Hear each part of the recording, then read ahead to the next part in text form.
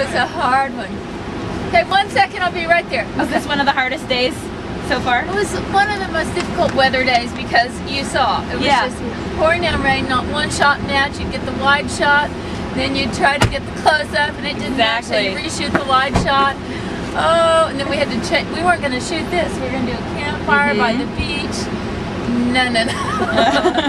Everybody was soaked. So yeah, it's been a challenge, but we're trying to make it great every day. And make you guys proud. Well, that's one of the things that we've been really impressed with. That it seems that you are really in touch with what the fans are interested in.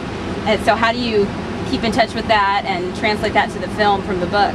Uh, probably, maybe I have the same attitude as the fans. look at our, look at our cool, cute guys. We brought you guys today, right? Did we get some gorgeous Native American boys?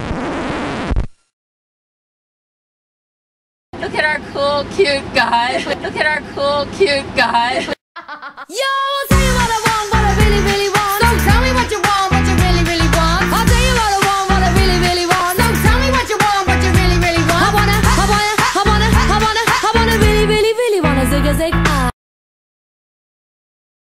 Just, I love the book too, you know, so I was a big fan, so I'm just want to make it come alive, you know. Yeah. Now, one of the things that we hear time and again from the actors and from the crew now here today is that the main reason they wanted to do this show is because of you. So, how does that make you feel? Is it intimidating or Desperate.